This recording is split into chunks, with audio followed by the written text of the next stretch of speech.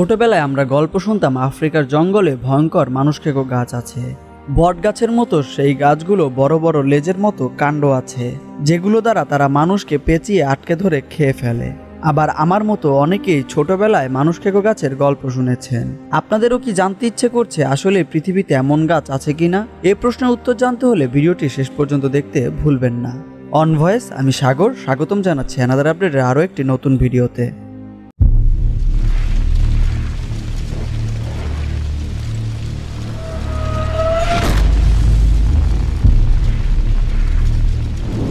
প্রথমে জানা যাক মানুষ খেকো গাছের ধারণাটি আসলো কোথা থেকে। আঠেরোশো চুয়াত্তর সালে অ্যাডমন্ড স্পন্সর নামক একজন ব্যক্তি নিউ ইয়র্ক ওয়ার্ল্ড পত্রিকায় একটি প্রতিবেদন লেখেন। সেখানে তিনি একজন জার্মান অভিযাত্রীর চিঠি তুলে ধরেন। চিঠিতে ক্রাল আফ্রিকার মাদাগাস্কারে তার লেখা একটি মানুষ খেকো গাছের বর্ণনা দেন। এই প্রতিবেদনটির পরে এই গল্পটি আরও কিছু পত্রিকায় ছাপা হয়। এটি গল্পের সবেমাত্র শুরু। আস্তে আস্তে সব জায়গা থেকেই একই রকম মানুষ খেকো গাছের কথা শোনা যায়। এরই ধারাবাহিকতায় ফিল রবিনসন আঠেরোশো একষট্টি সালে একটি বই লেখেন। তিনি বইটি লিখেছিলেন তার এক আত্মীয়র পৃথিবী ভ্রমণের কাহিনীকে কেন্দ্র করে।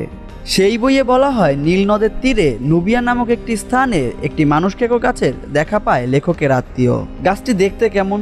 কি করে লেখকের আত্মীয়র একজন সঙ্গীকে খেয়ে ফেলে এবং সেই লেখকের আত্মীয়র গাছটির সঙ্গে লড়াই করে কীভাবে জীবিত ফিরে আসে, তার বিস্তারিত বর্ণনা আছে বইটিতে। প্রায় এক দশক পর British journal review of review এর সম্পাদক উইলিয়াম থমাস স্টেট আঠেরোশো একানব্বই সালে তার জার্নালে দ্য ভ্যাম্পিয়র ডাইন নামে একটি ছোট্ট প্রবন্ধ লেখেন। এ প্রবন্ধে তিনি লুসিফার ম্যাগাজিনের বরাত দিয়ে বলেন, নিকরাগুয়াতে দ্য ডেভিলস ন্যান নামক একটি গাছের সন্ধান পাওয়া গেছে। সেই গাছের সংস্পর্শে কোনো জীবিত প্রাণী গেলে গাছটি রক্ত চুষে ফেলে, মেরে ফেলে। কিছু কিছু গল্প থেকে এও শোনা যায় মাদাগাস্কার আদিবাসীরা সেসব মানুষ খেকো গাছের পুজো করে এবং তাদের মগ্ধ থেকে কাউকে গাছের ভক্ষণের শিকার হতে হয়। শুনলেও যেন গাছ শিউরে ওঠে।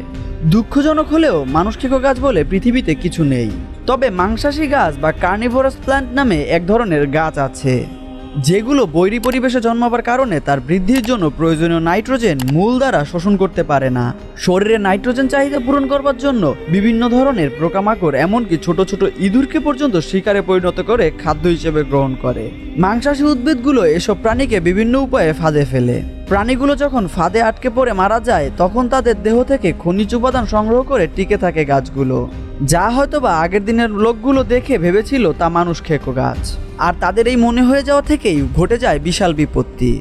সামান্য একটা আর্টিকেল থেকে পূর্ণাঙ্গ একটি বইয়ে পরিণত হয়ে যায় বিষয়টি। তবে সত্য এটি আজ পর্যন্ত কোনো মানুষকে গাছ খেয়ে ফেলেছে এমন প্রমাণ পাওয়া যায়নি। আপনাদের কি মনে হয় দর্শক, মানুষ খেকো গাছ কি আসলেই আছে? আপনারা আপনাদের মতামত কমেন্টে জানাতে পারেন।